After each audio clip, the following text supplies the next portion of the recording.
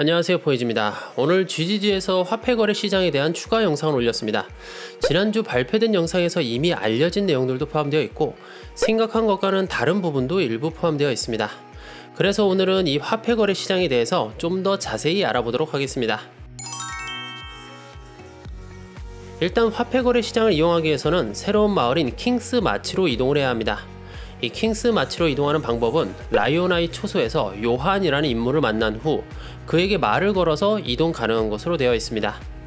이곳으로 이동하게 되면 처음에는 선술집밖에 없기 때문에 처음부터 화폐 거래 시장을 이용할 수는 없습니다. 하나씩 도시를 발전시킨 후 파우스투스가 등장하게 되면 그때부터 이 화폐 거래 시장을 이용할 수가 있게 됩니다. 이 파우스투스가 등장한 이후에는 그에게 말을 걸어서 그곳에서 화폐 거래소를 이용할 수도 있고 그를 은신처로 초대해서 은신처에서 이용할 수도 있습니다. 이 화폐 거래 시장을 이용하는 방법이 제가 생각한 것과는 달랐습니다. 일단 내가 원하는 화폐와 내가 가지고 있는 화폐를 선택하는 부분은 당연한데 그 두 개의 화폐 간 비율을 내가 정하는 것이 아니라 이 시스템이 정해놓은 것을 그대로 이용하는 방식입니다. 화면에 나온 예시를 한번 보면 변화 orb와 chaos orb를 골랐을 때 15대 1로 비율이 표시되는 부분을 확인할 수가 있습니다. 내가 변화 orb 숫자를 조정하면 카우스 오브의 숫자도 자동으로 변하게 됩니다. 이 비율이 어떤 식으로 정해질지 확실하진 않지만 각자 개인 간의 거래와는 비율이 다를 가능성이 높아서 아마도 모든 화폐 거래가 이 화폐 거래 시장으로 몰리지는 않고 원래 우리가 하던 홈페이지 거래도 함께 병행되지 않을까 생각이 됩니다. 그리고 거래 횟수도 정해져 있습니다.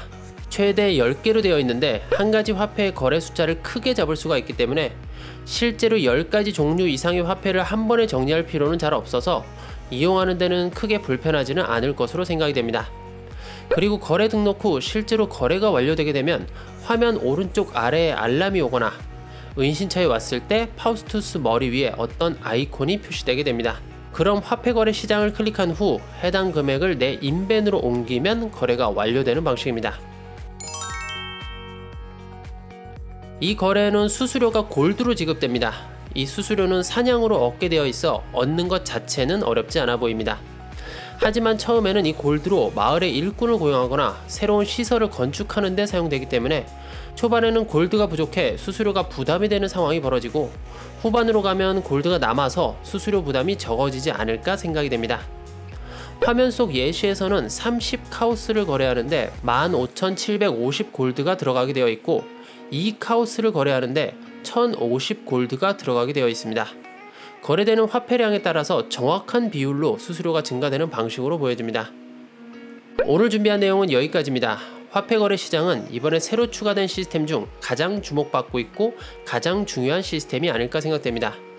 이 화폐 거래 시장의 활성화 여부에 따라서 다양한 사냥 방식에도 큰 영향을 미치게 되어 있습니다. 그래서 시즌이 시작하게 되면 실제로 어떻게 돌아가고 있는지 그 부분도 빠르게 확인 후 얘기해 드리도록 하겠습니다. 그럼 다음에도 좋은 내용으로 찾아뵙겠습니다. 감사합니다.